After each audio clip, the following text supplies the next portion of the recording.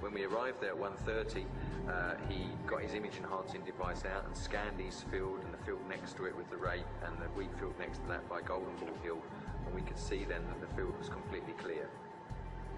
Uh, apart from the lights at the end of the road going past, the cars going past, the field was in complete darkness and there, if there would have been any lights inside there from anybody with laser devices or any, any lights at all, down to 1 200th of the lux of a candle, it would have been detected by these cameras.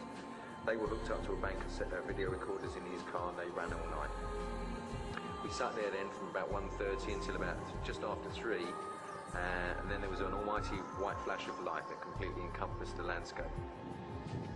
Uh, we talked about that for a few minutes and wondered if there was something in it. I, I felt that, there, that, maybe there's a connection, um, but we didn't, you know, we didn't know anything at that point. And it was around that time that Wynne realised he had to go and change his tapes over because they run for four hours in the vehicle. So he went down to the vehicle and changed the tapes came back up. We sat there for about another 20 minutes, and just as some of the light began to creep in from the east, we could see a very, very pale, imperceptible shadow on the field.